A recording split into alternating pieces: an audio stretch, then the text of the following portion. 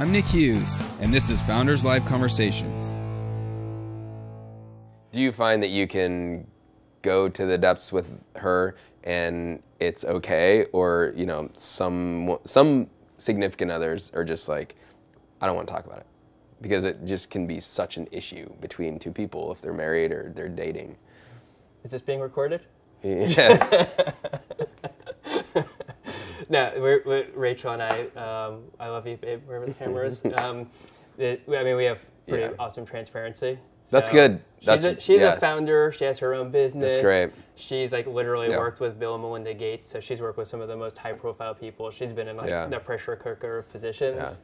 Um, so we go pretty deep. We're very our family is super super tight, um, and you know we put a high value on relationship experience. Right. You know, we'll we'll sacrifice a little bit of cash for more time together. Mm-hmm. You know, um, and I think that has really that bond's really strengthened us to go through this process.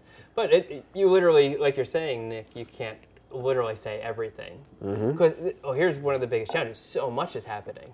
You're a founder in a small startup. How many things are happening in a month? uh, hundreds, if not thousands. Like I'm, you know, I'm in it right now, as you are too, and it's just like every day you come home and you just want to say like, this happened, this happened, this happened, and sometimes that's great, but sometimes it's too much, and it can actually overtake your relationship, and that's what I would suggest any founder think about is what is enough and what is too much and what is getting in the way of growth as two individuals in a relationship versus all you want to do is talk about your company and your business. Trust mm-hmm. me trust me there's a point where they don't want to hear about it anymore. I'm Nick Hughes, and this is Founders Live Conversations.